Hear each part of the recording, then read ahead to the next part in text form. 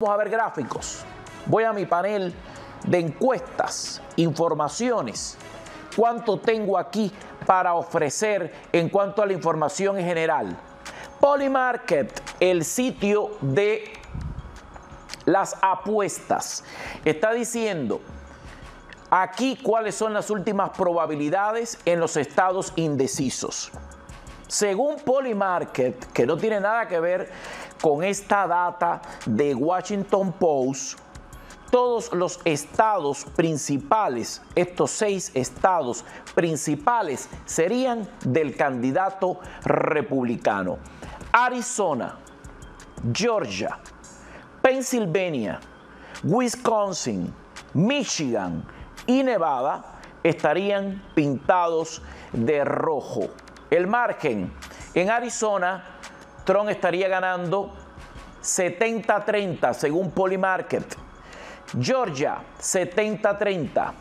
Pennsylvania 60-40. Wisconsin 57-43. Michigan 56-44. Nevada 55-45. Esto es en base al mercado de apuestas o la apreciación que se tiene del momento en el que estamos en el voto, una paliza roja. Esto sería la ola roja pasándole por encima a el Partido Demócrata según estos números. ¿Qué más dicen las fuentes de encuestas en esta jornada? Aquí está explicado son los estados más volubles que varían en cuanto a la intensidad del, voto.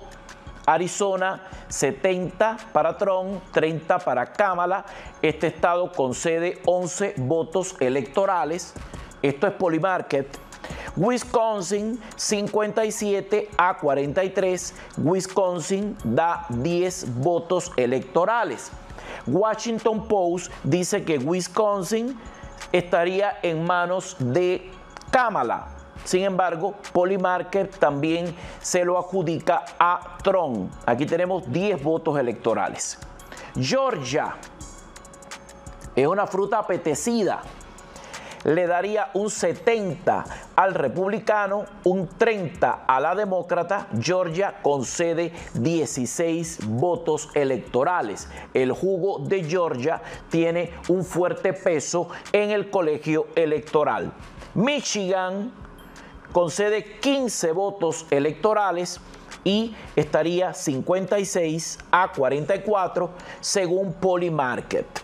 Una de las piezas más jugosas y apetecibles es Pennsylvania, 19 votos electorales, estaría 60 a 40 según Polymarket, mercado de apuestas, a favor de los republicanos. En Nevada, la cosa sería por 10 puntos, 55 a 45, Nevada da 6 votos electorales para la alimentación del el colegio electoral. ¿Qué más tenemos en cuanto a números, en cuanto a estadísticas? Bueno, estos datos desde Arizona son muy interesantes. Arizona ha hecho una gran actualización comparativa en este momento. Dice Arizona que en igual fecha del año 2020 estábamos más del 10.6% los conservadores por detrás de los demócratas a nivel estatal. O sea, en esta fecha de 2020, los demócratas estaban ganando por un 10.6% en Arizona. En este momento, el 7.4% está por delante. O sea, esto se ha revertido completamente.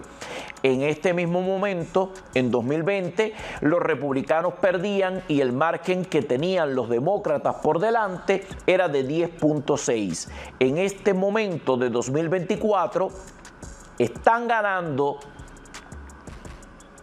los republicanos y están aventajando a los demócratas en un 7.4%. los republicanos en Arizona estarían aplastando a los demócratas en las primeras votaciones en persona por más de 5 a 1. O sea, 5 republicanos votando republicano contra un demócrata votando demócrata. Eso es lo que está pasando ahora mismo en el estado de Arizona. ¿Qué más dice la información llegada desde Arizona? Bueno, los republicanos en este estado siguen teniendo una ventaja de aproximadamente 15 mil votos en el condado de Maricopa. Esto es una votación, esto es un dato enorme a favor de los republicanos en Maricopa.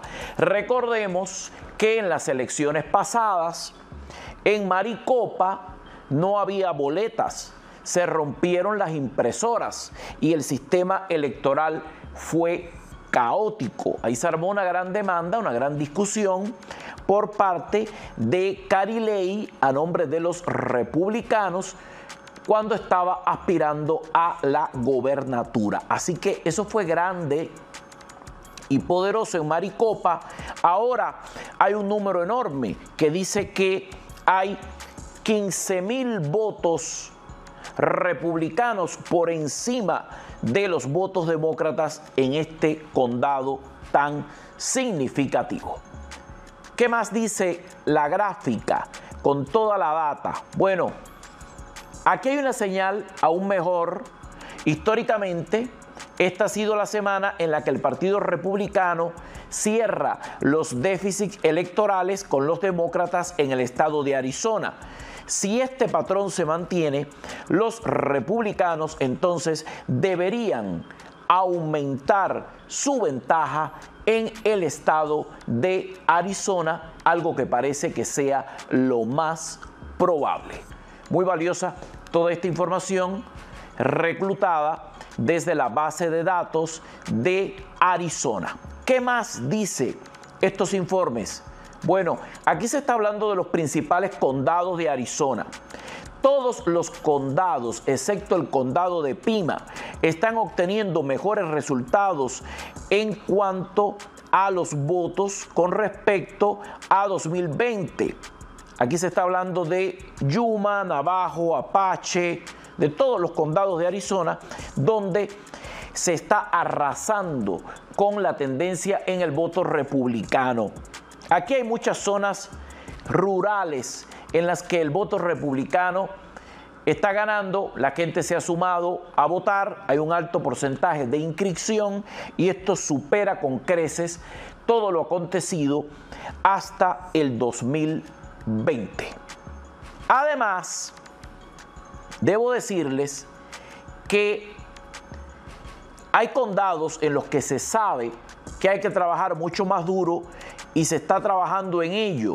Dice, estamos trabajando en ello. Este es el extracto de un comunicado con la información del Partido Republicano en el estado de Arizona. Son condados que están haciendo una comparación con lo que está pasando ahora y la tendencia de los ciclos anteriores. El total de votos emitidos hasta la fecha es muy inferior al de 2020. Y esto es una mala señal para los demócratas que gustan mucho del voto anticipado. Si los republicanos pueden continuar con su campaña esta semana con este ritmo, pareciera que Arizona está en un modo imparable. Perfecto. Hay mucho más en los números. Aquí lo pueden ver completamente. Aquí se está viendo de una manera explícita cómo funciona.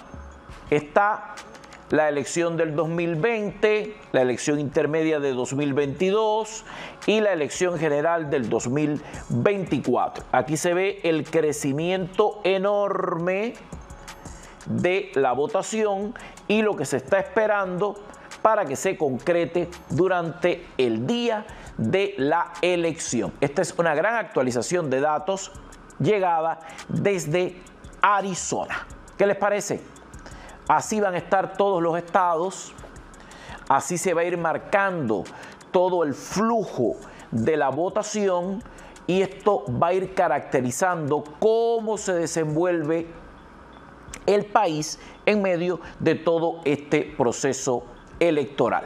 Estas son las encuestas Así van los números, así va la prevalencia, así van los informes que van saliendo desde múltiples posiciones y estados que son imprescindibles para ganar la elección general en este año 2024. Hago una breve pausa. Tengo mucho más.